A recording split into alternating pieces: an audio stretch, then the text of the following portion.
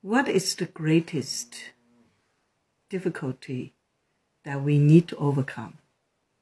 And we will face it, whether we like it or not, whether we volunteer or not, we will face it. What is the most horrible harm could happen to us? And how to avoid that?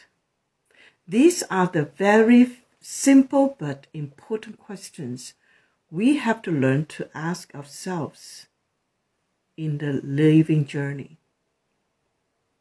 The greatest difficulties happened in life. It's not about failures happened or mistakes happened in the journey. The most difficult thing is when I forgot who I am. The moment I'm not able to protect my inner self at the right place.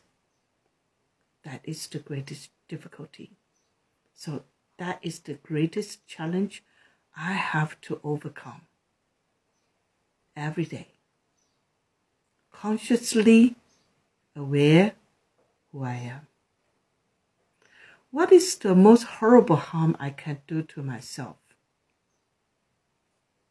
The moment I denied who I am, I start to hurt myself.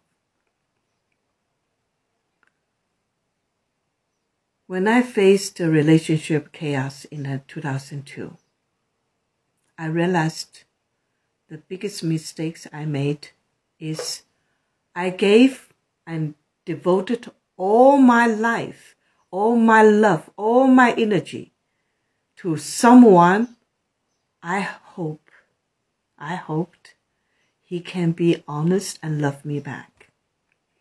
I totally surrender myself to someone. In the meantime, I forgot to observe the changes happened in his personality. So when I faced the difficulties and I said to myself, I cannot blame him entirely because also I have to take the, my own responsibility to correct that one.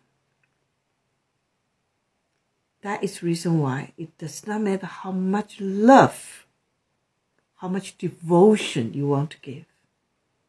Never forget to love yourself first, to appreciate who you are, and take good care of yourself by staying straight.